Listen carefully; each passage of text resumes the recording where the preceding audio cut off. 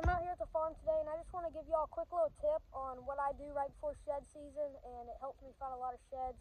So what you're going to want to do is get you some any leftover feed. As you can see, I got a Boss Buck feeder and some whitetail mash laying here on the ground.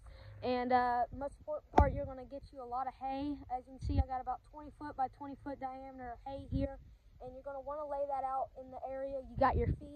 Lot of times on these cold nights, especially here in February, um, the deer are going to want to come up here and eat um, and they're going to have to, and they're going to want to come and lay in this hay.